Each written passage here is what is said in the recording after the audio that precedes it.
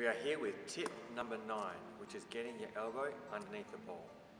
Some players tend to start with their elbow in nice and tight to their body. Some players will start with their elbow out. Either is really fine. The most important part is as long as the elbow is underneath the ball at the release, either starting position is fine. So if I start in nice and tight and come up underneath, you'll see my elbow is underneath the ball. If I start with my elbow out just a little bit, by the time that I get to the top of my release, you can see that my elbow is now gonna be underneath the ball. So either is perfectly fine. The good thing with shooting, or the main point here with your elbow, is the lift that you're gonna get on the ball will be determined where your elbow begins and then where your elbow ends.